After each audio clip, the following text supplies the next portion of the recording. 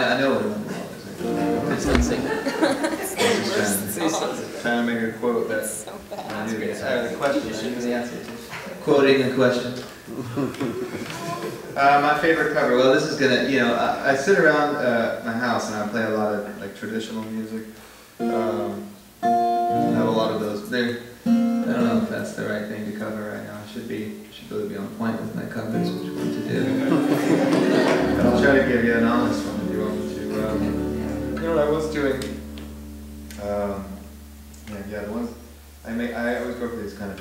covers and then I end up, yeah, I'm not gonna do that one.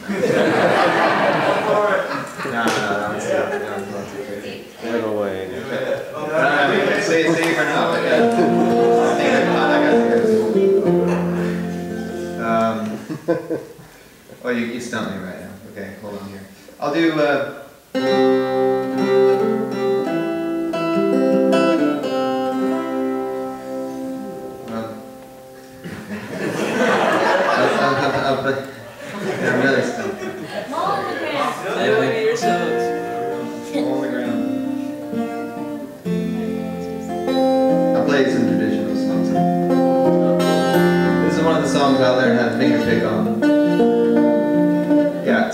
Yeah, when you learn how to finger pick, you gotta pick songs to learn how to finger pick. And so this is a song by Elizabeth Cotten.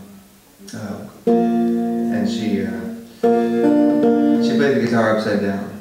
So I'm playing it backwards to her, but the correct way to anyone else who plays.